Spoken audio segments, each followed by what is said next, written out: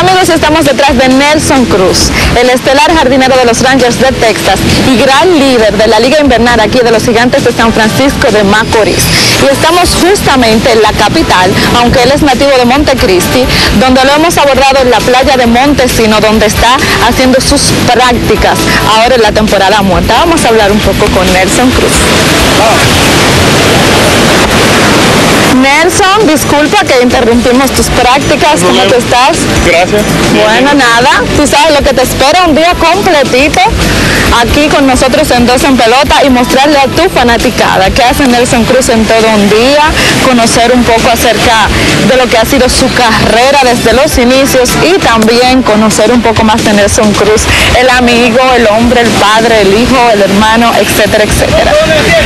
Gracias nuevamente por tenerme en tu programa, es un placer eh, estar aquí y enseñarle a toda la fanaticada lo que es una vida de Nelson Cruz fuera de- del estadio y, y cómo me desenvuelvo y el ambiente que estoy durante, durante, durante la temporada muerta. Así es, el público está ansioso por conocer más de Nelson Cruz, pero ahora vamos a seguir trabajando con tus prácticas, pero antes de explícame en qué consiste el que tú practiques aquí en una playa. Bueno, eh, tuve una lesión durante la temporada y estoy trabajando en ello, fue en el tobillo izquierdo, entonces aquí vengo a tratar de fortalecer un poquito más el tobillo y, prepararme para lo que es la liga de invierno también. eh, corriendo en la arena, eso le fortalece el tobillo y vengo aquí suelto un poco y fortalezco las piernas también para tener un poquito más de velocidad. Ok, vamos a ver las prácticas de Nelson Cruz.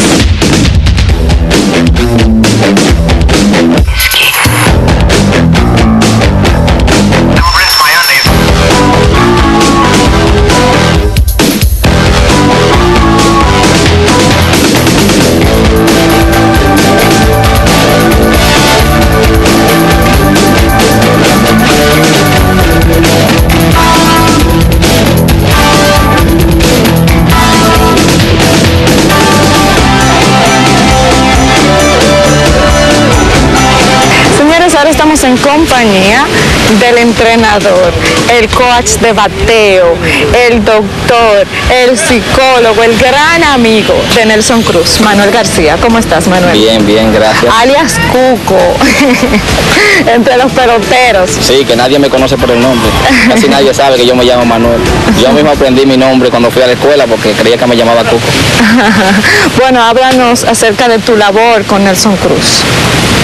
Bueno, mi labor con Nelson Cruz comenzó en noviembre de 1999, cuando yo acababa de salir de, del trabajo de trainer de Oakland, que él tuvo, se rompió el pie izquierdo, Wow, una fractura. una fractura, y tuvimos que trabajar un poco duro para que volviera a jugar. Ok. ¿Desde qué año estás trabajando con él? Desde el 1999. Wow, casi 10 años.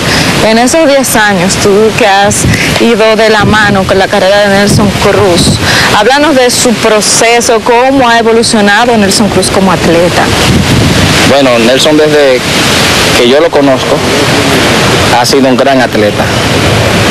Nelson siempre ha trabajado con tesón, ha tenido que tener una gran dedicación porque ha tenido muchos obstáculos en su carrera, porque él siempre ha tenido buenas temporadas y nunca le daban la oportunidad que él merecía. Según tú, según tú o tu conocimiento ya, con ya estos 10 años prácticamente al lado de Nelson Cruz, ¿cuál ha sido el momento más significativo o que más ha afectado a Nelson? Bueno, el momento que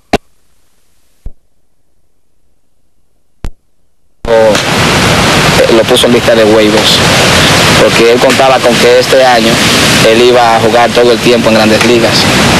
Y fue una baja psicológica muy grande. ¿Eso fue en qué año?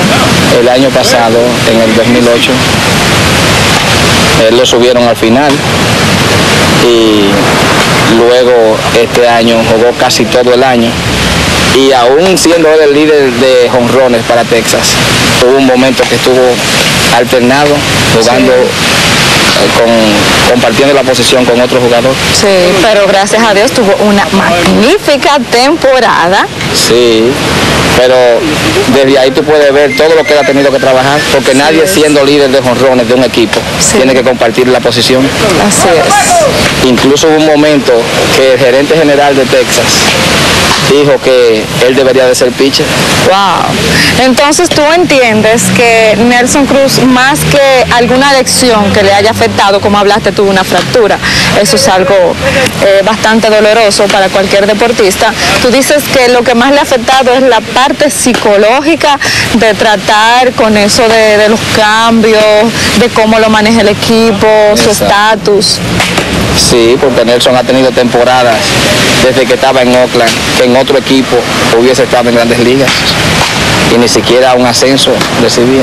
Bueno, pero ahora hemos visto que prácticamente la carrera de Nelson Cruz ha explotado Sí. este año, gracias a Dios. Eh, háblame tú cómo tú ves la proyección de su carrera de ahora en lo adelante. Bueno, la proyección de Nelson Cruz es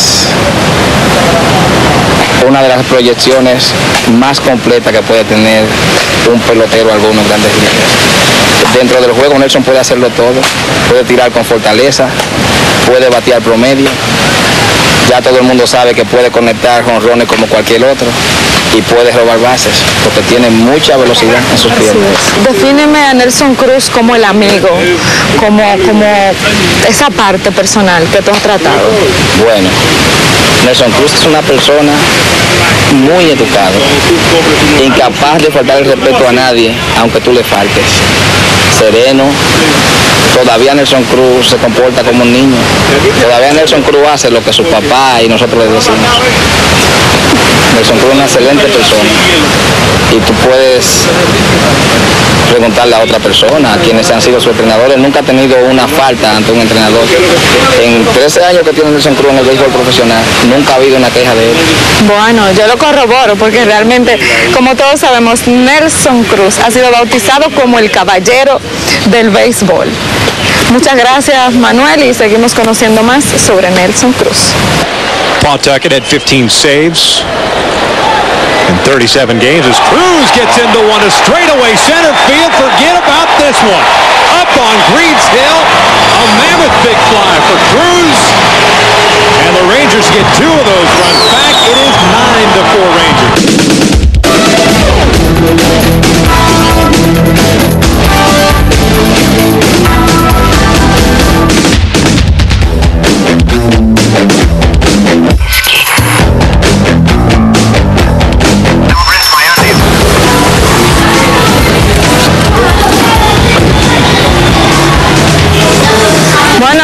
hemos llegado a Nichibosco, niños chiriperos.